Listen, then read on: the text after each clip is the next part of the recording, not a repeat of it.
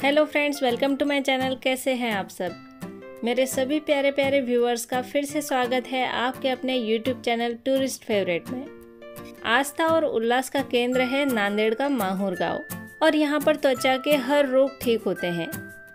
माहौर किला महाराष्ट्र का एक महान तीर्थ स्थल और शक्तिपीठ भी माना जाता है। यह शहर प्राकृतिक सुंदरता में एक पहाड़ी पर स्थित है। साथ ही माहौर शहर पहाड़ों और घने जंगलों से घिरा हुआ है। तो आइए इस वीडियो में जानते हैं माहूरगढ़ के बारे में। सबसे पहले हम जानेंगे माहूरगढ़ कैसे पहुँचना है। अगर आप सड़क मार्ग से आ रहे हैं तो महाराष्ट्र के नांदेड़ ज़िले में स्थित माहूर किला आसपास के अनेक शहरों से सड़क मार्ग से जुड़ा हुआ है। किले तक बस से पहुँचने के लिए सबसे पास का बस स्टैंड माहूर है। माहौर बस स्टैंड से दो किलोमीटर दूर राष्ट्रकूट काल के समय की पहाड़ी को काट कर निर्मित दो हाथीनुमा गुफाएँ देखने को मिलती है। राज्य परिवहन की बसें और अनेक निजी वाहन मुंबई, पुणे, हैदराबाद आदि शहरों से नांदेड़ के लिए नियमित रूप से चलती हैं। और अगर आप रेल मार्ग से आ रहे हैं तो नज़दीकी रेलवे स्टेशन किन्वट है। इसके अलावा नांदेड़ अनेक बड़े शहरों से रेल मार्ग से जुड़ा हुआ है। और अगर आप हवाई मार्ग से आ रहे हैं तो सबसे निकट हवाई अड्डा नांदेड़ है। अगर आपके शहर से आपको डायरेक्ट नांदेड़ के लिए फ़्लाइट नहीं मिलती है तो आप मुंबई या नागपुर का ऑप्शन भी ले सकते हैं।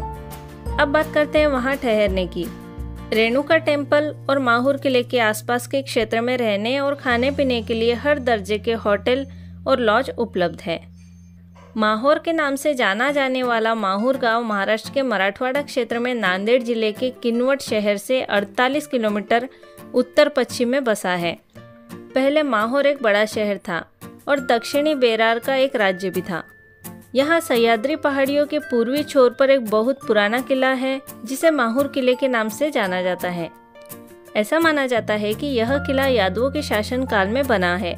इसके बाद इस किले पर कई शासकों ने शासन किया, जैसे गोंडा, ब्राह्मण आदिल शाही और निज़ाम शाही सबसे अंत में मुगलों और उनकी जागीरदारों का इस पर शासन रहा।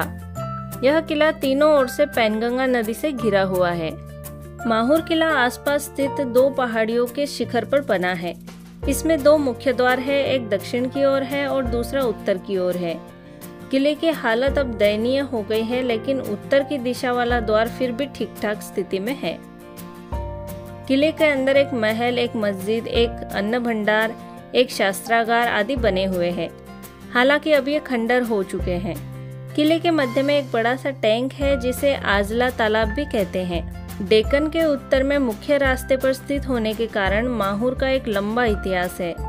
यहाँ बहुत सारे ऐसे प्रमाण हैं जो यह दिखाते हैं कि माहौर, जिसे प्राचीन काल में मातापुर कहते थे, जो सतवंश और राष्ट्रकूट के समय एक बहुत ही महत्वपूर्ण स्थान था।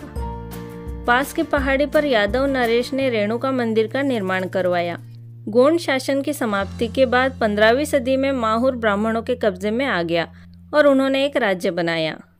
सोलहवीं शताब्दी में सामरिक दृष्टि से मुख्य केंद्र में बने माहौर में निज़ाम शाही आदिल शाही और इमाद शाही शासकों के बीच झड़प होना शुरू हो गई। इसके बाद सत्रहवीं सदी की शुरुआत में माहौर मुगल शासकों का हिस्सा हो गया और अपने सूबेदार की बदौलत वे शासन करने में सफल रहे। जब शाहजहां ने अपने पिता जहांगीर के खिलाफ बगावती का तेवर अपना लिया तो उसने माहौर किले में पत्नी और बच्चों के साथ शरण ली। इसमें शाहजहां का छह साल का बेटा औरंगज़ेब भी साथ था। माहौर नांदेड़ शहर से लगभग 130 किलोमीटर दूर है। पैनगंगा नदी माहौर क्षेत्र के तीनों ओर बहती है।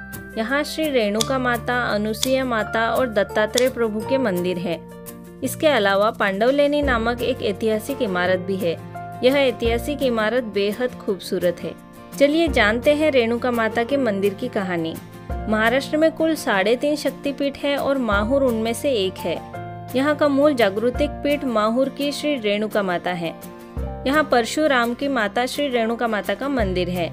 पुराणों के अनुसार परशुराम की माता रेणुका माता ने सती की थी। गुरु चरित्र में इस स्थान का बार बार उल्लेख मिलता है। यह स्थान महाराष्ट्र में कई भक्तों का कुल देवता है। यहाँ दूर दूर से श्रद्धालु दर्शन के लिए आते हैं। यहाँ हर नवरात्रि पर भारी भीड़ होती है। इसे श्री रेणुका देवी का मंदिर भी कहा जाता है, जिसे देवगिरी के यादव राजा ने तेरहवीं शताब्दी में बनवाया था। धार्मिक महत्व के स्थान पारंपरिक रूप से हिंदू धर्म में श्री क्षेत्र माहूर से जुड़े हुए हैं। माहूर गाँव से लगभग दो किलोमीटर की दूरी पर रेणुका देवी का मंदिर है, जो एक पहाड़ी पर बना हुआ है। देवगिरी के यादव राजा ने लगभग 800 साल पहले इसकी नींव रखी थी। दशहरा के अवसर पर यहाँ एक पर्व आयोजित किया जाता है और देवी रेणुका की पूजा की जाती है। मंदिर के चारों ओर घने जंगल है। कभी कभार जंगली जानवरों को यहाँ घूमते हुए भी देखा जा सकता है। माहौरगढ़ दत्ता मंदिर और अनुसुईया माता मंदिर से आसपास का क्षेत्र बेहद खूबसूरत है। दत्तात्रेय का मंदिर माहौर से 6 मील की दूरी पर एक चोटी पर स्थित है। भक्तों का मानना है कि श्री दत्तात्रेय का जन्म माहौरगढ़ में हुआ था। दत्ता शिखर पर मूल मंदिर की लंबाई और चौड़ाई 10 से 12 फीट है। मूल मंदिर बारह में महंत मुकुंद भारती द्वारा बनवाया गया था। माहौर से 6 किलोमीटर दूर अत्रि ऋषि महासती अनुसया माता का आश्रम और मंदिर है। दत्तात्रेय के मंदिर से दो किलोमीटर की दूरी पर दक्षिण में वंदेव देवस्थान है। जंगल में इसकी जड़ें होने के कारण इस स्थान को वंदेव कहा जाता है। यदुराज ने इस स्थान पर तपस्या की और दत्तात्रेय भगवान को प्रसन्न किया था। तब दत्तात्रेय भगवान ने 24 गुणों का वर्णन किया था। कैलाश टेकड़ी वनदेव से एक किलोमीटर दूर है। कैलाश टेकड़ी सह्याद्री श्रेणी की सबसे ऊँची पहाड़ी है और महान जागृति का स्थान है। इस स्थान पर दत्तात्रेय भगवान की पादुका भी है। यह वही पवित्र स्थान है जहाँ भगवान दत्तात्रेय ने हरिया स्थान पर गोरखनाथ को दर्शन दिए थे। अब उनकेश्वर भी देख सकते हैं। उनकेश्वर गर्म पानी का झरना है, जो पैनगंगा नदी के तट पर स्थित है। माना जाता है कि यह प्राकृतिक झरना अद्भुत रसायनों से युक्त है, जिससे त्वचा के अनेक रोग ठीक हो जाते हैं।